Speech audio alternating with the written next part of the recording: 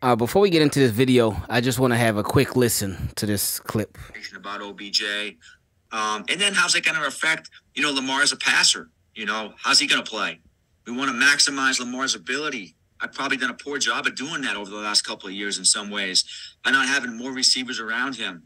Um, and we love the guys we have, but you know, in terms of building the best possible offense, um, that's a factor too. So, you know, every situation has residual values associated. Every player that you bring in um, is different and they affect things differently leadership, ability, community, whatever that might be long term. And we see OBJ as a big part of that whole thing. Lovely. And that was, of course, a clip um, from his interview that he did with Mike Florio of Pro Football Talk, uh, who I know a lot of Ravens fans.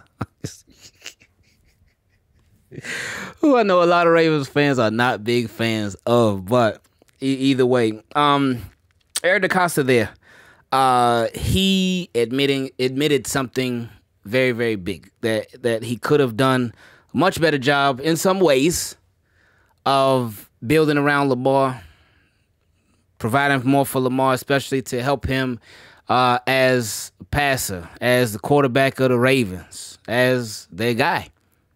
And even if you go back to uh, the the actual presser, Eric DeCosta was asked, "How would you evaluate these past four or five years building around Lamar?" He said, "I'd probably give ourselves a B.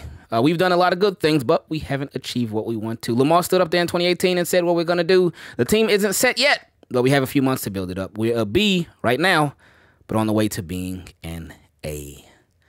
And I thought both of those two, the consistency with both of those two things that he said, um, because they they have done a lot of good.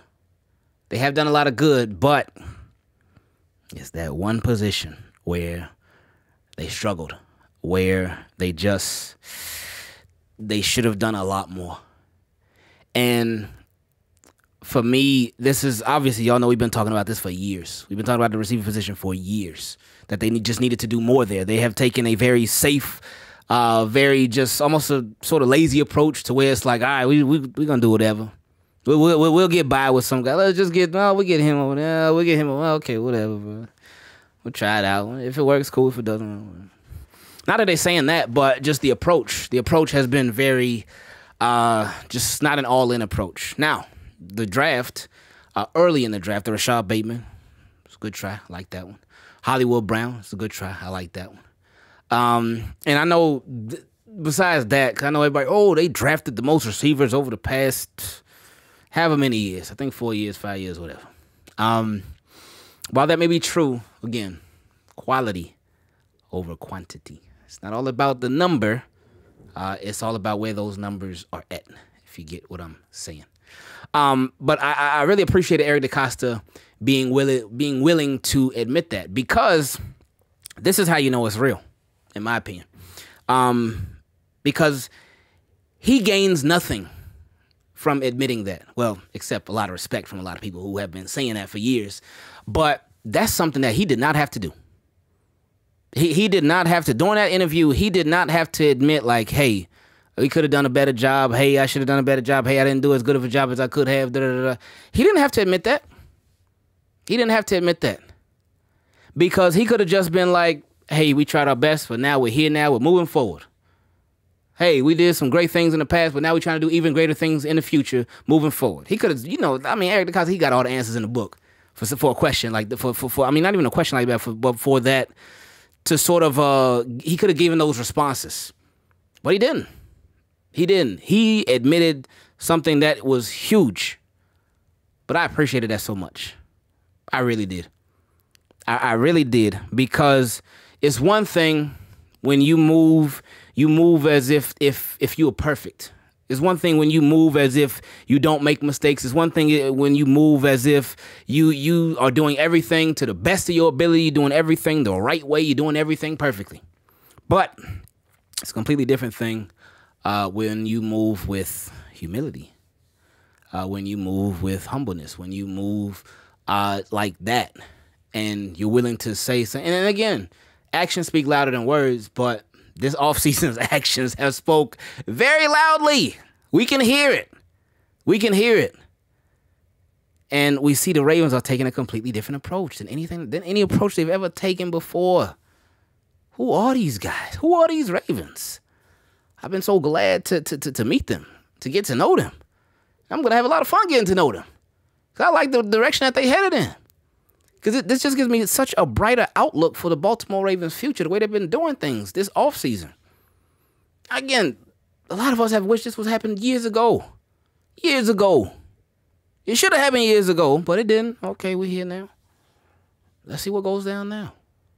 So with with with these Ravens, um, and again, Eric DeCosta, he he gains nothing from saying that. That that that's how I know it was real. Like it ain't nothing like he could capitalize on. It ain't nothing that's like he gains nothing from saying that. And it just it brings up a lot of uh I don't want to say bad memories, but it just brings up all the wrong. It just gives everybody a reminder of all the wrongs that that they've done, that they've made at the receiver position. They've done some rights there too. Again, we mentioned Hollywood, we mentioned uh Bateman and whatnot, and, and a lot of it too was the, the type of offense. But that's that's another part of it too. With be, being loyal to a fault, being loyal to a fault. Now my guy Kev did bring up something when it comes to Ravens, uh, them their, their continuity, and the fact that they like it so much, and, and continuity is big because I, I know I, have seen the, the joke. I've seen it be joked about like if you on a job interview, and um, if you want a job interview, and well, hey, why should we hire you? That's a question that a lot of them will ask. Why should we hire you? I've been on a lot of job interviews. Yes, they do that. Ask that. That's real. Um, but in turn, I've seen people say you should ask them why should why should I work here? Why should I work here? Especially if it's a place that got a high turnover rate and they have a lack of continuity. It's like, oh man, like What's gonna happen to me in a couple months? Even less than a year, y'all got people quitting, getting fired left and right. What, what's that about? So when you look at the Ravens, they've been pretty stable for a while. They've had continuity. John Harbaugh been their coach since 2008. It's, 20, it's 2023. That's a long time to be a coach. That's a long time. And I think how many losing seasons they done had? Two. 2015, 2021, right? So what he went eight and nine and twenty one, I think. In 2015, what was it, five and eleven, whatever it was. But either way, um, and those were the years that like the whole like the teams were decimated with injuries. Like there'd be a lot of injuries, but those two years were like some of the worst. So that's that's a lot of continuity. But again, we we we going everywhere right now. What I what I was get what I was getting at was with Greg Roman, with Eric DeCosta John Harbaugh, their continuity with Greg Roman. My, my guy Kev made a good point about this. He's like, maybe they didn't fire him sooner because they wanted they wanted continuity. Uh, because with Joe Flacco, he had QB coach after QB coach, offensive coordinator after offensive coordinator. He just had so much of everything. It, it was all over the place. But maybe they didn't want to go down that road uh, with uh, a Lamar Jackson. And I told him, hmm, that's a really, really good point. Now they should have still made a move, but that is that's no seriously. That's a really really good point. and I, I had never thought about it that way before. But I'm glad they are. Uh, they did start to make some changes because these are these change these are changes that have been needed to needed to be made long time ago, man. Long time ago. Um, but we're here now. So again, I, I just wanted to really give Eric DeCosta his credit, man, because I, I really appreciate when people can be straightforward. Um, this would always talk about, because uh, when when we bring up the uh like the Ravens, for example, we bring up the Ravens, bring up um how because people will be like, oh, if hey, would you ever consider working for the Ravens? And I think about it, I said, man, I I would love to work with the Ravens. But as far as for the Ravens, hey, who knows? If they would allow me to be honest about stuff, I would love that. I would love that. But um, that's one thing I'll be worried about if they would allow me to be honest. And, re- and I say all that to say this because I know, like, if for for companies, for for franchises, for teams, uh, they a lot of them, not just the Ravens, it's just companies in general. If you work for them, they only want you to put out the good about them, and and you can understand why. They don't want you as an employee putting out the bad about them. They want you to put out the good. Good. Hey, we do this good. We do that great. Da da da. And Ravens do so much stuff great. They really do. They do a lot of stuff good too. But they do also have some areas that they need to work on stuff. But um, if you're an employee, you probably don't get to talk about that stuff like that. You probably can't point stuff out like that. Oh, Ravens need to do this better. Oh, they should have done that better. Oh, they need to do this better. No. And not to say that's the only thing that you focus on. You know, on here we, that's not the only thing we focus on. We focus on both the good, the bad, everything, everything. But this is see, this is why I appreciate what Eric DeCosta said so much because he addressed the bad. And in my opinion, and, I, and I've said this before, this is not the first time I'm saying this. In my opinion, if the Ravens, not even just the Ravens, but really any team, if they would obviously continue to point out the good like they have been doing, but also if they were willing to be able to put the put the bad stuff on front street too. Like, man, we got to do this a lot better. Man, we really did a terrible job of that today. Man, we did really bad at that today. Whatever the case may be. I think that would just give people such a deeper respect for how the franchise carries themselves, how they operate.